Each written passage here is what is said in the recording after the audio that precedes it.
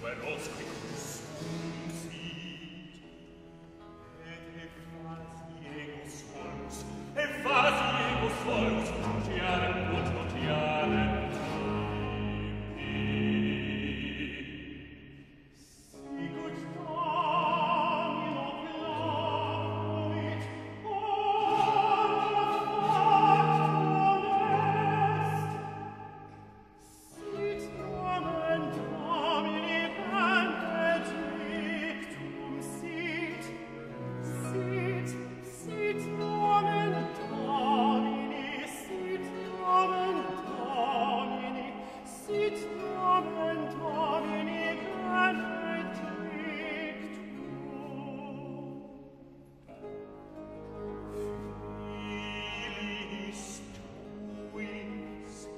et filialus eius